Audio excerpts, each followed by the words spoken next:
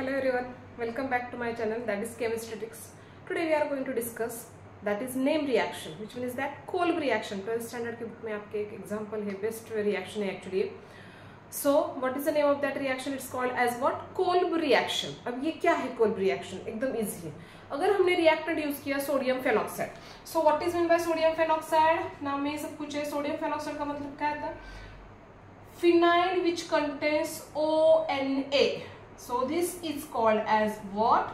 Sodium phenoxide. When this sodium phenoxide, in that sodium carry positive charge, oxygen carry negative charge. When this sodium phenoxide treated with the carbon dioxide, किसके साथ react कर रहा है अभी ये carbon dioxide के साथ treat कर रहा है एट 398 केल्विन कितना टेम्परेचर हमने जस्ट यूज़ किया है 398 केल्विन एंड 6 एटमॉस्फेरिक प्रेशर मतलब प्रेशर बहुत ज़्यादा इंक्रीज किया है तो अगर हम यहाँ पे देखेंगे तो बेंजीन रिंग के ऊपर there are number of hydrogen atoms ना बराबर है? कितने number of hydrogen atoms present है? एक हाइड्रोजन को तो रिप्लेस हो गया ओ एन एस से। तो यहाँ पे अभी हाइड्रोजन प्रेजेंट है। In that case there is also hydrogen hydrogen hydrogen and hydrogen all these are the hydrogen ना ठीक है? तो यहाँ पे क्या होता है? First of all attack of this hydrogen देखो रीअरेंजमेंट होता है यहाँ पे। Attack of this hydrogen towards on the oxygen atom hydrogen कहाँ पे चला जाएगा? ऑक्सीजन के ऊपर चला जाएगा। अब क्या होगा देखो? Benzene ring. Oxygen which contains what here hydrogen. अब ये जो सोडियम होता है दे रिमेन्स ना ठीक है? अगर ये हाइड्रोजन चला गया तो अभी ये क्या होगा? इसके ऊपर चार्ज आएगा तो ये कार्बन जो होगा, ये कार्बन इसके ऊपर चला जाएगा।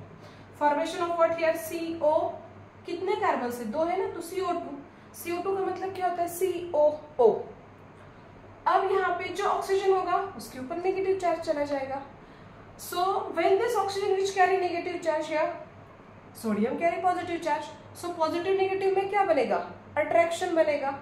Obviously attack of sodium towards on that oxygen atom in this case formation of what COO NaO समझ में? How it is possible now? Further, what happened when acid hydrolysis takes place. Then further acid hydrolysis takes place. What happen here? ये तो as it is होगा OH which contains benzene which contains OH no. Now this COO one of the protonation मतलब क्या होगा attack of this one of the hydrogen towards on this case formation of what here COOH by loss of remaining component which one is that water molecule एक hydrogen मैंने यहाँ पे use किया। Water molecule की वजह आप यानी H भी यूज़ कर सकते हो या फिर सिंपल सोडियम भी यूज़ कर सकते हो। Don't write here by product of the reaction तो अब इसका नेम क्या बनेगा? What is the name of this component here ये तो सॉल्ट बना। Sodium salt of what phenoxide but अगर यहाँ पे देखोगे तो यहाँ पे क्या बनेगा इसका name see it is the strongest group acid is the strongest component as compare to what here phenol तो यहाँ से नंबरिंग हमारा स्टार्ट होगा one this is the two now तो इसका मतलब क्या हो रहा है? सेकेंड पोजिशन पे हाइड्रोक्सी कंपोनेंट आ रहा है। तो इसका मतलब क्या होगा? Two hydroxy now benzene contains what acid मतलब क्या होगा यहाँ पे? बेंजोइक एसिड बनेगा। Two hydroxy what here benzoic acid benzene contains acid समझ में?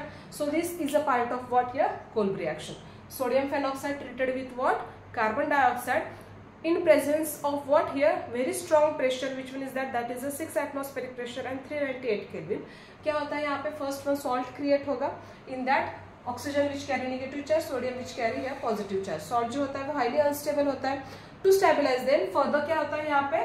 That is what acid hydrolysis हो रहा है। On further acid hydrolysis formation of what benzene contains O H and Y near meaning which one is that that protonation यहाँ पे हो रहा है मतलब सीओएच फॉर्म होगा। That is what two hydroxy benzoic acid में। समझ में?